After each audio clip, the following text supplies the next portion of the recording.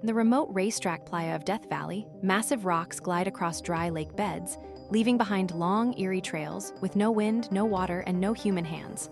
How? For decades, scientists were baffled. Then in 2014, time lapse cameras captured the secret. Thin ice sheets form on winter nights, floating the rocks just millimeters above the mud. When the sun rises, the ice cracks and shifts, gently pushed by light breezes, sliding the stones across the slick surface. It's not magic. It's physics in perfect harmony. One rock, weighing over 300 pounds, moved nearly 200 meters in a single winter. The trails, they vanish with each rain, only to reappear months later with new paths. This phenomenon only happens under rare conditions freezing nights, shallow flooding, and just enough wind. It's Earth's quietest dance, stone and ice, moving in silence. No engines, no hands, just nature's hidden rhythm. If you've ever wondered if the Earth itself can move, now you know. Don't forget to subscribe for more amazing science content.